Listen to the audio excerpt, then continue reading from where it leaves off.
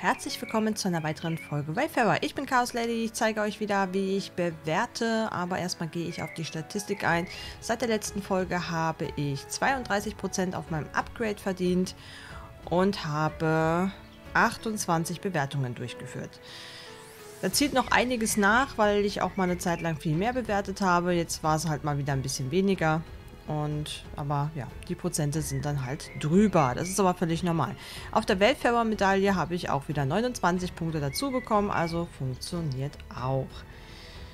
Gut, ich würde sagen, dann gehen wir direkt in die Bewertung. Stellen das Ganze hier gleich nochmal richtig ein. Das ist nicht die richtige Entfernung. Wähle den richtigen Standort aus. Ähm theoretisch dahin. Ich habe aber das Gefühl, das ist jetzt... Das hatte ich schon mal. Ich glaube, den hatte ich schon mal. Anscheinend wurde das jetzt hier erneut wieder eingereicht. Vermute ich mal. Was das ist, weiß ich gar nicht. Wandbild. So, absenden weiter. So, äh, hier haben wir ein Straßenschild und derjenige versucht selber zu erklären, was diese, dass diese Person was Besonderes ist, aber dieses Straßenschild ist äh, leider nichts Besonderes. Auch wenn der Name vielleicht was Besonderes ist. Aber äh, mit Infoschild hätte ich es gerne angenommen. Ohne Infoschild, nein. Massenproduktion wären wir. Dann wären wir nämlich wirklich bei Massenproduktion. Dann könnte man es ja bei jedem Straßenschild, könnte man es ja sonst machen.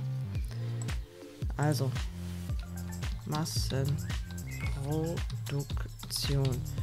Ach, Niantic. Als Ablehngrund wäre schön. Als Ablehngrund. Was ist das? Ist aus Belgien. Und deswegen etwas schwierig. Äh, aber ich denke, das ist irgendeine so Wanderroute oder sowas. Ja, Route steht ja zumindest hier im Namen, also von daher sollte das passen. Achso, das ist immer noch zu klein. So, so, richtig. Also, historisch-kulturell, jawohl. Optisch einzigartig, ja. Auch wenn es eine Serie ist, würden wir sowieso alle 5 Sterne geben, damit es schnell aus der Bewertung wieder rauskommt. Sicherer Zugang, davon muss ich jetzt ausgehen, dass das hier ähm, auch ja, ein Wander eher ein Wanderweg ist als eine äh, Autofahrstrecke. Aber davon, ja, davon muss ich jetzt ausgehen. Standort stimmt auf jeden Fall. Und das ist, ich sag jetzt ein Wanderweg. Absenden, weiter. Oh ja, ein Spielplatz, auf dem man seine Balance halten kann, sozusagen. Ah, es gibt sogar ein Infoschild dazu. Also scheint sogar auch was für Erwachsene zu sein. Ist also, könnte also genauso gut auch eine Fitnessstation sein. Die auch noch nicht im Spiel ist. Gut. Historisch-kulturell, jawohl. Optisch einzigartig, ja. Sicherer Zugang, ja. Ja, komisch wenn nicht, ne? Das sieht ja mal interessant aus hier. Sehr, sehr interessant. Aber schade, dass man das jetzt hier überhaupt nicht sehen kann. Ah, aber hier kann man es ohne Probleme sehen. Naja, okay.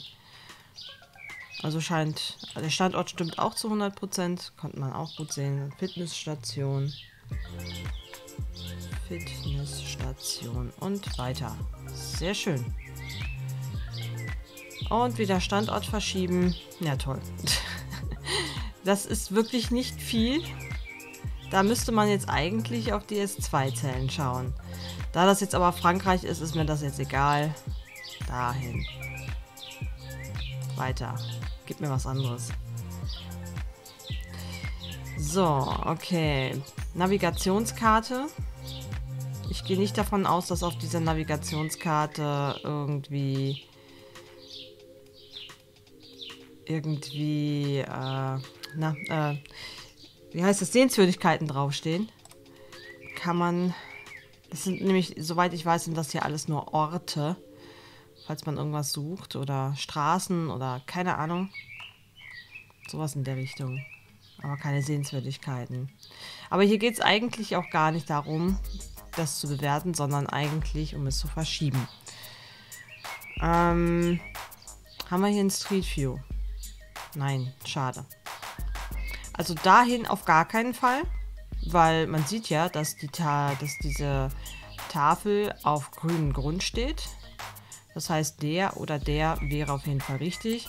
Ich kann hier sogar was Weißes aufblitzen sehen. Also würde ich sagen, das ist der absolut korrekte Standort. Gibt es Navigationskarte noch? Navigationsschild, tatsächlich gibt es sogar. Dann nehme ich das mal. Kinderparcoursstation, Hüpfspaß. Ja, in Österreich. Okay. Das Umgebungsfoto soll uns jetzt ähm, das zeigen, was uns das Schild sagt. Ist, äh, also vermutlich, ist aber keine gute Idee. Ich würde euch immer empfehlen, schaut, dass der Kandidat mit auf dem Umgebungsfoto immer mit drauf ist. Sonst kann es sein, dass man den, den Ort nicht bestimmen kann. Also es ist jetzt auch so schon schwer, das zu bestimmen, weil das halt anscheinend äh, quasi im Gestrüpp steht, das Schild. Mal sehen. Aber solange hier alles grün drumherum ist, sehe ich da kein Problem. Sowas lehne ich dann halt auch nicht ab. Also, historisch-kulturell ja, optisch einzigartig ja, ist, ähm, auch wenn es eine Serie ist. Man sieht es ja. Äh, sicherer Zugang natürlich. Ups, da ist mir das Handy aus der Hand gefallen. so. Ob der Standort stimmt, wissen wir nicht. Müssen wir drei Sterne für geben. Und... Am, am, am. Was machen wir hier? Ähm, Fitnessstation, oder? Ist zwar für Kinder, aber Fitnessstation. Äh, Fitnessstudio, ja genau. Ganz bestimmt. Erholung im freien Fitnessstation. Weiter. So, was haben wir hier? Hochwasserschutz. Ein Infoschild zum Schutz von Hochwasser, was, was hier alles gemacht worden ist oder einige Informationen, technische Daten. Ja, ist ein Wayspot auf jeden Fall. So wie es aussieht, hat hier der Sommer schon gut zugeschlagen. Hintergrund ist die Wiese schon verbrannt. Oder sie haben einfach nur frisch gemäht und haben den ganzen, das ganze Gras da liegen gelassen und jetzt sieht es so aus, als wäre es so. Okay, das wäre natürlich auch eine Sache. Spannende Informationen. Müssen immer Adjektive davor gesetzt werden. Also historisch-kulturell, ja. Optisch einzigartig, ja. Sicherer Zugang. Ja. Das wird auch eine Art Wanderweg sein. Die Tafel ist wahrscheinlich hier, ist also wenige Meter verschoben, ist okay. Fünf Sterne. Ich glaube, dass das wirklich diese Tafel ist. Und das ist ein Hinweisschild. Absenden, weiter. So, ein paar Fotos. Die beiden Fotos sind vom selben Objekt. Deswegen okay und auch beide sind gut belichtet. Jawohl. So. Äh, hier haben wir ein, zwei Bilder, die sind absolut identisch. Und eigentlich sogar überbelichtet. Aber ich würde es trotzdem vielleicht drin lassen. Okay, es sind sogar mittlerweile schon drei gleiche Bilder. Und ich werfe die raus. Ich finde, aus meiner Sicht muss das nicht sein. So, was ist das hier? Keine Ahnung, was das hier ist. Das überspringen wir mal. Das ist Frankreich gewesen. So, was haben wir hier? Kleiner Imker. Noch eine Infotafel. Ist zwar ein Schaukasten, aber das Problem ist, derjenige hat sich äh, ungewollt sehr gut äh, abgelichtet erkennbares Gesicht, obwohl er eine Maske trägt? Ich würde sagen, ja. Sicher ist sicher, in Zweifel lieber ablehnen. Erkennbares Gesicht. So. Nächstes. Du mich auch. War ich wieder zu schnell, ja? Ich bin halt schnell. Meine Güte. Das soll ein Park sein. Park ohne Schild ist leider nicht möglich. Das kann jeder behaupten, dass das irgendwie ein Park ist. Wie man sieht, sind ist, aber man, was ich hier in diesem Park sehe, sind vor allem eigentlich nur ähm, Strecken. Sehr dicke Strecken, komischerweise. Keine Parkbänke. Ähm, ja, da fehlt so einiges, finde ich. Nee, aber das geht leider nicht. Schön wäre es, wenn man einen Park einreichen kann ohne Park. Da muss man irgendwie gucken, dass man in den Park irgendwas reinbekommt. Eine Skulptur oder so. Park ohne Schild. Okay. Dann haben wir hier wieder ein Titel. Ah, ein Titel auf Deutsch. Aussägungshalle Kalbershausen. Gut, Kalbershausen ist schon mal gleich. Ich denke mal, das soll zusammengeschrieben sein. Das ergibt sonst, äh, sonst ergibt das erste Wort irgendwie nicht wirklich so viel Sinn. Dann haben wir hier wieder in Frankreich einen Brunnen, der Blümchen hat. Wo ist denn dieser Brunnen? Der ist direkt an der Straße. Ja. Von mir aus, ja. Ein Brunnen muss ja nicht immer Wasser haben. Ein alt, soll ja einen alten Brunnen darstellen. Also von daher passt das. Ist auch sicher erreichbar, meiner Meinung nach. Hier gibt, gibt es Gibt es hier... Hier gibt es gar keine Wayspots. Wow. Da gibt es noch nicht einen einzigen Wayspot. Und ich kann den Kandidaten nicht sehen. Es gibt auch kein Street View. Schwierig. Umgebungsfoto ist jetzt zum Beispiel auch nicht so, dass ich das jetzt hier vielleicht leicht erkennen könnte. der anderen Seite ist doch zumindest mal ein kleines Haus. So. Aber hier ist ja gar nichts. Ja gut, hier, hier drüben vielleicht. Vielleicht ist der Brunnen hier und in die Richtung fotografiert worden. Ich habe da Schwierigkeiten, den Ort zu bestimmen und werde das auch dementsprechend halt anklicken. Leider. Okay, nächstes. Ah, ein oder zwei Stück können wir noch machen. Äh, nein, das ist kein Wayspot. Das ist einfach nur ein Verkehrsschildspiegel. Äh, Eigentlich Verkehrsspiegel. Warum sollte das ein Wayspot sein? Schön wär's. Außerdem auch Massenproduktion. Also Massenproduktion. Absenden, weiter.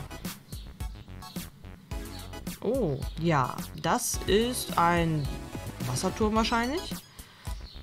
Ein interessantes Gebäude. Das kann man machen. Das kann man meistens auf dem Satellitenbild eher erkennen. Ist auch sicher erreichbar, ist nicht an der Autobahn.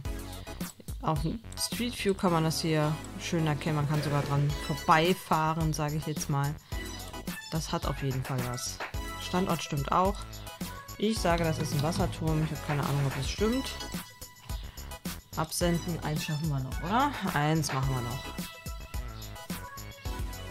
So, das sieht eher nach einem Spielplatz aus. Da steht aber irgendwie Park. Okay.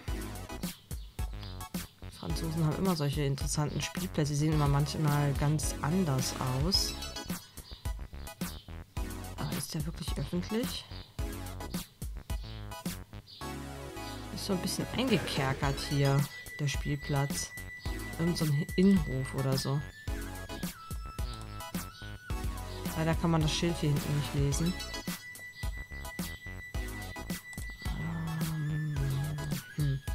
Wird schwierig wahrscheinlich, den zu erkennen. Also feature-technisch sowieso nicht. Weil der ist irgendwo mittendrin zwischen den ganzen Häusern. Ich habe keine Ahnung, ob man den erreichen kann. Hallo.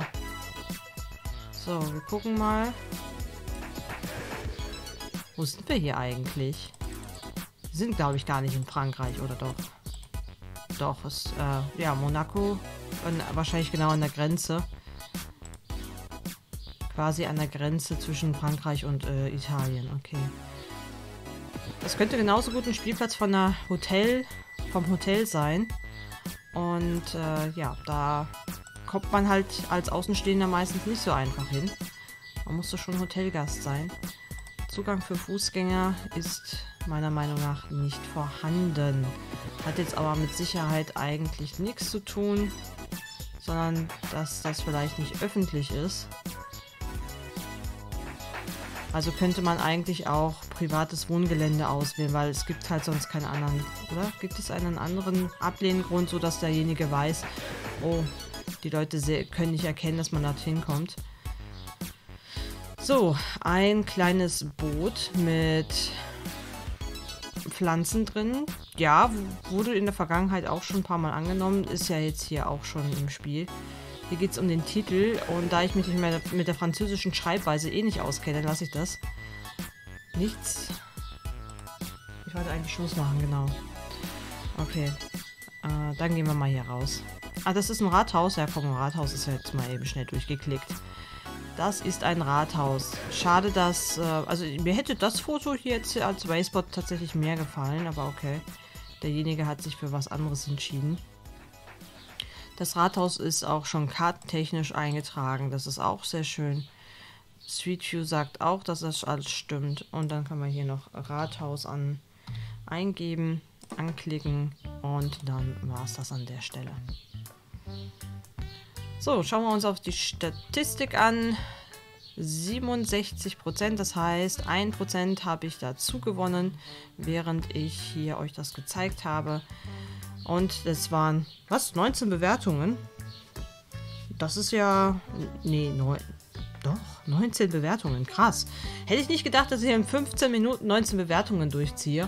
Normalerweise sollte man nicht so schnell bewerten. Schaut immer, dass ihr pro Bewertung mindestens 20 Sekunden drauf seid, sonst bekommt ihr schnell Timeouts.